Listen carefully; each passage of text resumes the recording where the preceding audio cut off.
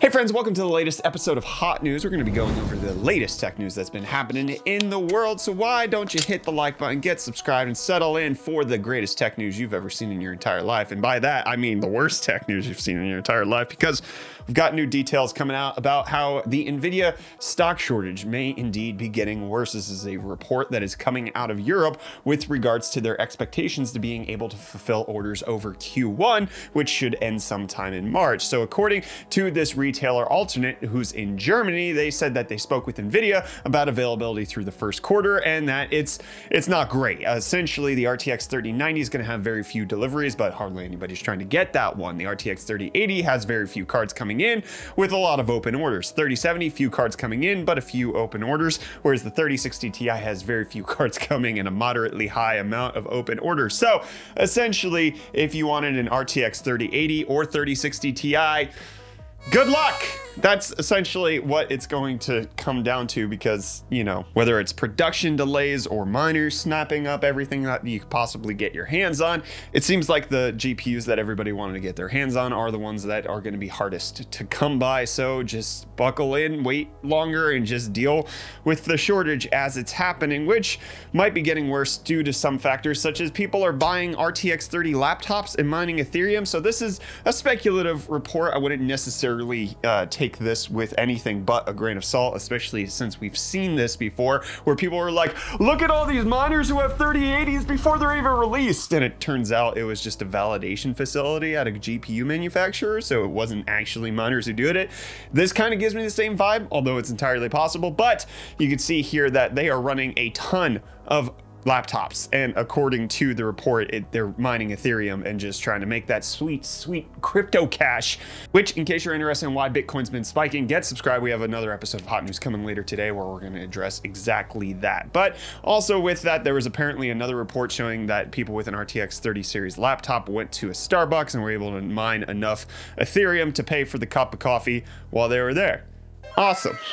We're at that phase, folks. Mining is back. GPUs are not. Life comes in a circle. Which, I mean, while we have GPU shortages rampaging everywhere, I think NVIDIA is finding it fit to release another one, the RTX 3060, slated to launch on February 25th. That is apparently the new release date that is being reported from WCCF Tech, with some customers even able to pick up their cards in person and unbox them, as you can see with this RTX 3060 Eagle OC. So, shortage? What shortage? Let's just release more cards nobody can buy. It's the perfect storm of not, not, there's, it's not even a, there's, it's like a, it's a storm that doesn't exist.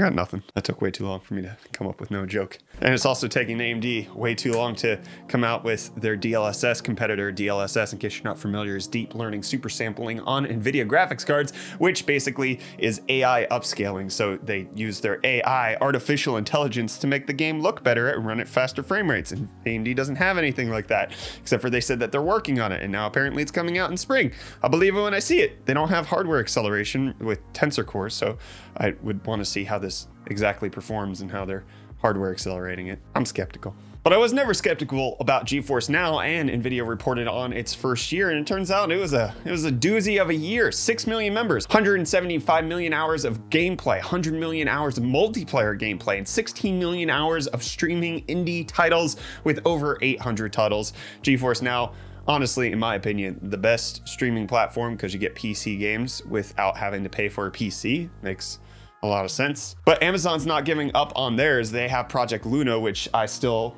have to eventually get to my video about. I just haven't been tempted to do that. Anyways, with Amazon having a brand new CEO, he actually recommitted to the idea that they are still going to be working on their video game side of things, including Amazon Game Studios, which they launched a game, by the way, in 2020. I think it was called Crucible, and it didn't last very long.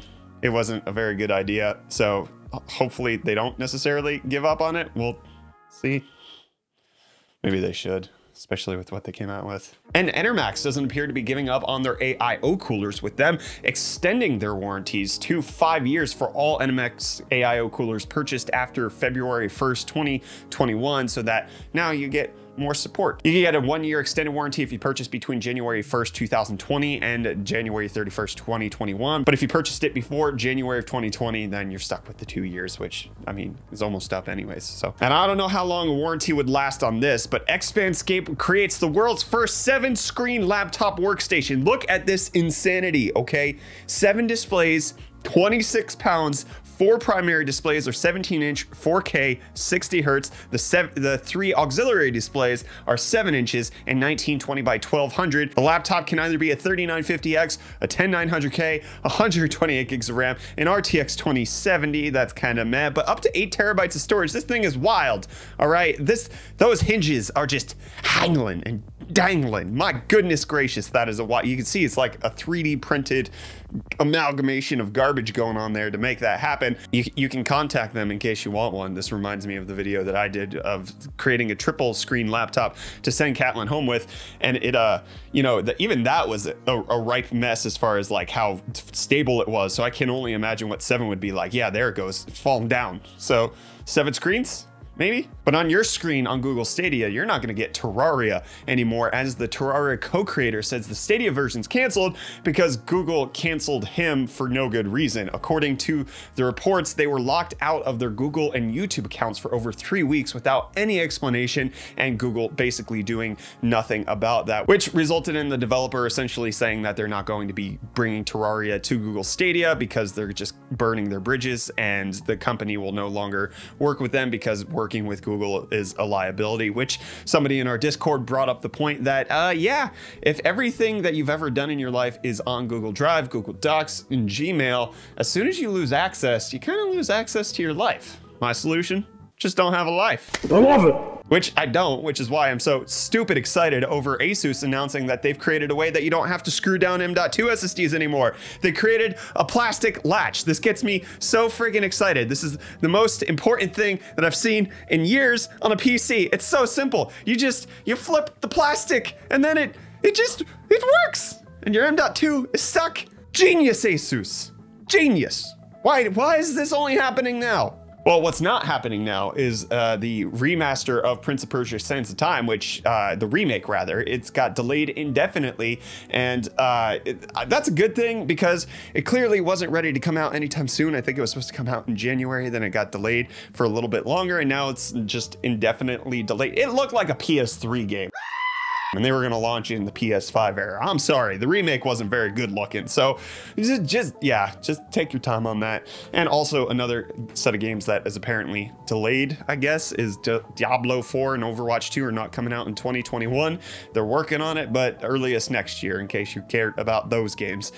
And in case you care about tech news, don't you worry your sweet little bottom about it because we've got more tech news coming at you later today. The second episode of Hot News is coming, so get subscribed for that. Hit the like button on this video in case you enjoyed it. And if you want to watch a fun little experiment where I put two external monitors on Catlin's laptop, you can check that video out over on UFD Tech. And with that being said, I'm Brett with Hot News. Thank you so much for watching. I'll see you in the next one, friends. In just a little bit. Cheers, bye.